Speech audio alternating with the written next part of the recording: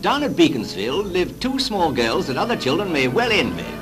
Gillian and Imogen don't have to wait for the next Enid Blyton book to appear in the shops. They can read it as it comes off the typewriter. For their mother, Mrs. Darrell Waters, is Enid Blyton. Every day when she's working on a book, she rattles out about 6,000 words. In addition, there are always proofs to be read and letters from young fans to be attended to. It's a full-time job being as successful as she is, what with stories, articles and books. Sometimes Gillian and Imogen have to insist that she must relax and play a game with them so that she doesn't overwork. Father, a distinguished surgeon at one of London's big hospitals, joins in too. But they have to be quick to say snap before mother.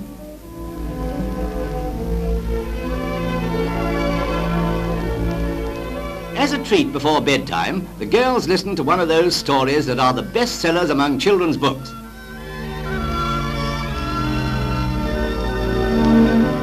Blyton has turned out over 150 books since she wrote her first. Let's hope there'll be plenty more to delight the children and help their mothers and grandmothers and aunts to solve the birthday present problem.